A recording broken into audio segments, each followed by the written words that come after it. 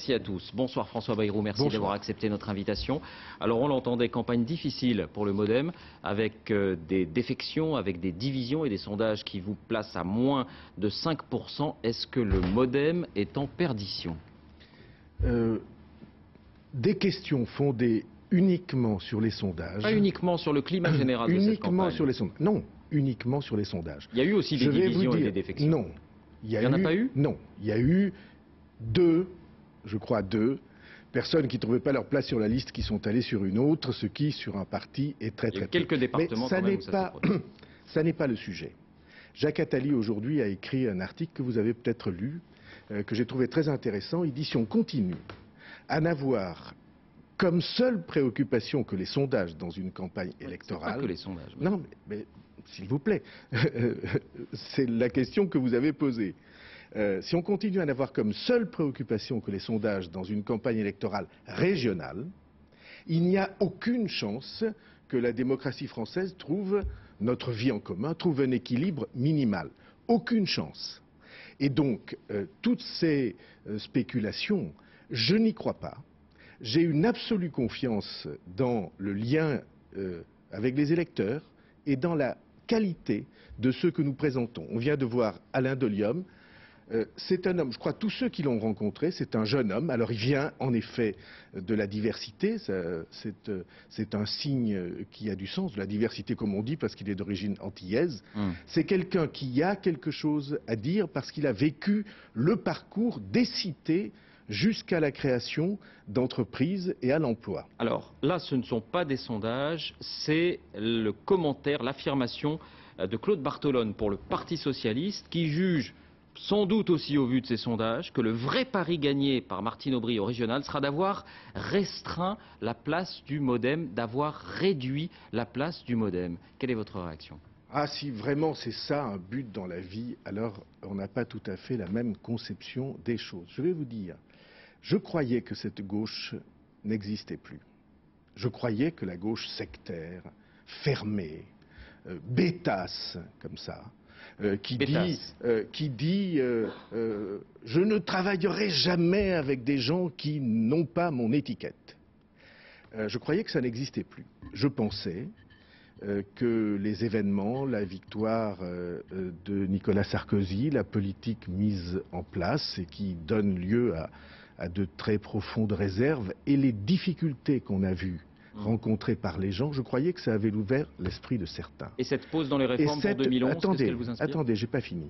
Et cette gauche-là, sectaire et fermée, je ne m'entendrai jamais avec elle. Et je ferai tout ce que je peux Vous incluez Martine que- Aubry? Non, pas du tout. Pour que, j'espère que non, mais elle le dira. Je ferai tout ce que je peux pour que cette attitude de, de- de sectarisme euh, n'occupe pas les responsabilités en France et pas non plus dans les régions. Je suis prêt à travailler avec euh, des responsables de gauche ouverts, intelligents. Il y en a, il y en a beaucoup. Je crois que c'est même la majorité. Mais euh, les attitudes de Hum. fermeture et d'exclusion, pour moi, c'est très simple. Je dis jamais. Alors un mot sur ce calendrier présenté en quelque sorte par Nicolas Sarkozy aujourd'hui. Pas de pause dans l'immédiat, pas de changement de cap? Euh, on a dimanche des élections régionales, David Pujadas. Régionales.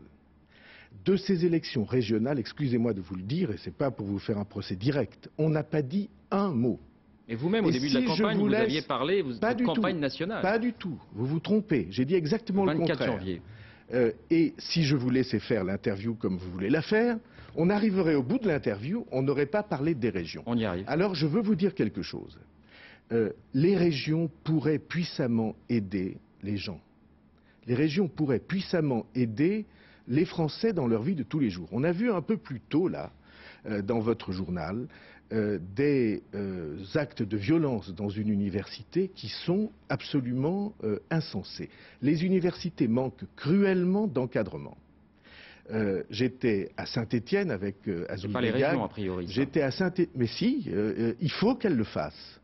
Euh, euh, on prend, euh, lorsque vous êtes une région, vous avez, comme on dit, la clause de compétence générale. Vous pouvez prendre des initiatives. Vous savez que les régions interviennent souvent dans les universités. Et heureusement, Euh, j'étais avec Azouz Begag à Saint-Étienne. Eh bien, Azouz Begag et moi, nous avons vu la très belle bibliothèque de l'université qui vient d'être construite. Euh, elle ferme à 6 heures du soir.